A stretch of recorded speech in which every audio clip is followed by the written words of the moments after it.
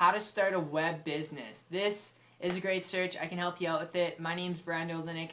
For the last three years, I'll tell you, I've started multiple different types of businesses on the internet, uh, and also I've tried, you know, traditional brick and mortar businesses. But specifically talking about the internet, I've tried a lot of things. Some were fun, some were interesting. Uh, you know, some were very stressful. Some required a lot of time, energy, and effort working. You know, 18 hours a day uh, while I was still working a full-time job so it never really matched up and it never really uh, was allowing me to create the time freedom and flexibility that ultimately that I wanted that I was looking for with a web business and you know whether you're someone who's looking for a web business to start a web business uh, because you want time freedom flexibility and leverage or you know you want to work you enjoy working uh, all the time I can show you one or the other, but what I want to share with you here is something I've been doing here in the last 12 months, okay? You know, you're looking for how to start a web business. I've got a lead, and uh, what I've been doing in the last 12 months was actually something simple. I came across a guy on the internet who was just getting the results that I wanted in a way that I wanted, and, uh, you know, I latched onto what they were doing because they weren't creating their own products, they weren't building out their own websites, they're working,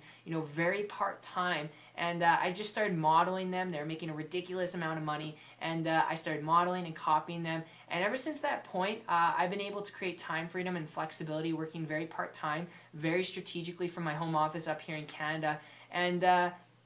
It's been fun.